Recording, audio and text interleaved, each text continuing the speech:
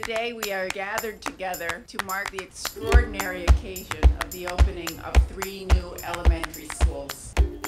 Whenever we design schools, we try and create environments that will be supportive of how children learn, that support the way that educators think about learning. And we had old elementary schools, so we right away said we want to do something different with libraries. And really most of this came from teachers and principals saying, you know, only one class can go at a time and it's scheduled. So we moved to this learning corridor concept where the library is almost a continuous presence throughout the building recent neurological research has really given us new insights into how we all learn. Being very active, that mind-body engagement really helps reinforce learning.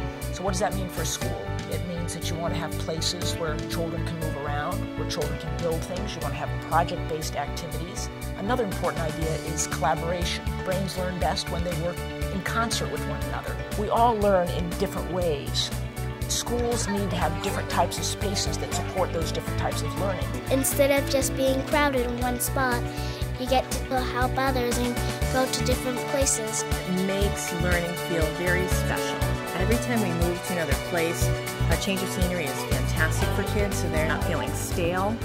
Now here there's like there's the nook here and then there's the project areas and our classrooms and the library. So there's a lot more spaces to work. We are about learning, and learning takes place not just in classrooms, but everywhere in this building. Everywhere you look, in a nook or a cranny, there's a place for learning to take place. There's a place for kids to collaborate. One of the places that we're all coveting right now is the story room upstairs, which is this wonderful circular room, cozy and warm. You want me to do this another time? Learning Commons is a very open place. There's a lot of visual connection, so the teachers are becoming more confident in knowing that their students will be under passive supervision no matter where they are in the building. The openness of the space also has a great impact on the teacher's ability to communicate with one another.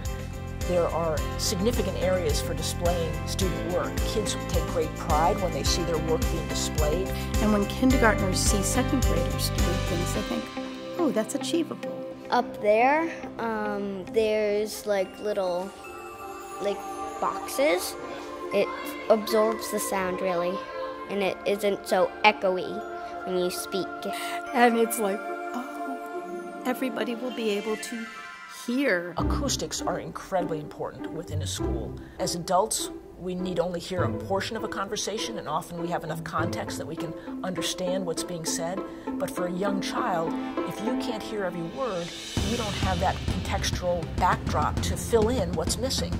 There have been studies done that show that students learn more readily in naturally lit environments. So we work very hard to bring natural light into every space. I like the pictures like where the little rooms are because um, like it's about Christa McAuliffe. It's like in one part there's a spaceship, in another there's Saturn, and one more there's a rocket ship. We know that students have to be emotionally engaged to learn well. We want our students to be good independent workers, good collaborative workers, problem solvers. We want them to stretch themselves in terms of research and synthesizing and communicating everything they've learned. If within our schools we can create places that the students enjoy, that they associate that sense of joy with learning, then that will help everyone understand that learning is a wonderful part of life. We've spent a lot of time behind closed doors or working in isolation, and the Learning Corridor changes all of that.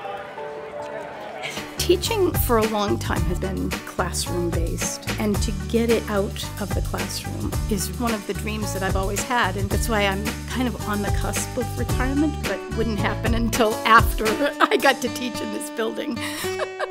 because you're not always stuck in the same place, like, like because you're always like just looking for some inspiration and stuff. It makes us feel like we're trusted. And we're like, we're growing up and we're responsible. Like if you walked in here, you wouldn't think it was the kind of place where it's like a boring work job where it's not very fun. You'd think of it as, wow, this is a cool and it and it appears to be a school for kids. It just it even looks like it. And the colors are just very like bright and fun. It's not, like the opposite of boring.